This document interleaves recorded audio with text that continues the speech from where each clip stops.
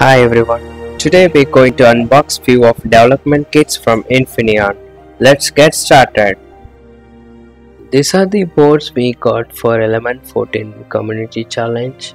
DC motor driver shield board, XMC for 700 lakhs kit and this is a PROFET 12 volt smart switch XMC for 200 platform to go kit and couple of sensors uh, magnetic sensor and uh, sensor kit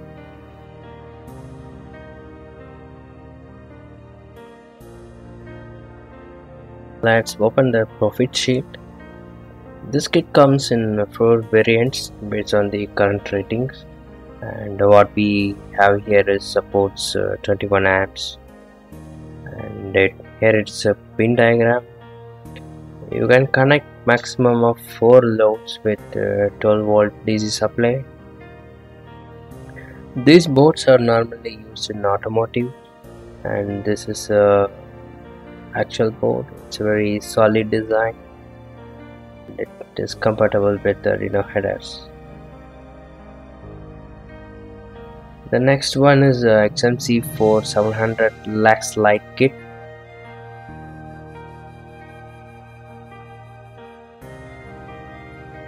it's just a, like a evaluation board.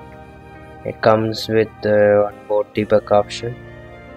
It is a light version so you could see that uh, some of the components are not loaded. SD card ethernet slots and CAN transceivers are not loaded. This board serves the commercial and industrial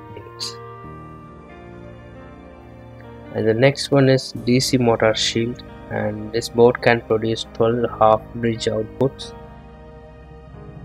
and it can drive uh, 6 DC motors in parallel and 11 motors in cascade mode.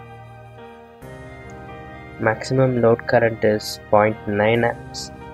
This board is Arduino connector compatible and it can be controlled through SPI The next one is XMC for 200 platform to go ahead.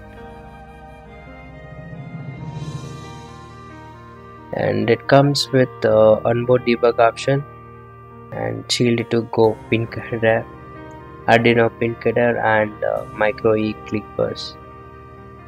It also has a CAN transceiver with the D sub connector.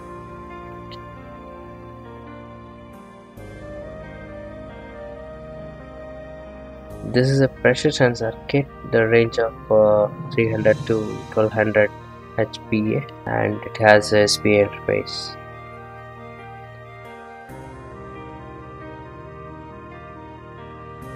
This is a 3D magnetic sensor and it measures the magnetic field in uh, X, Y and Z direction and it has a I2C interface and it uh, can be used in automotive and industrial applications so we are done today uh, with the unboxing.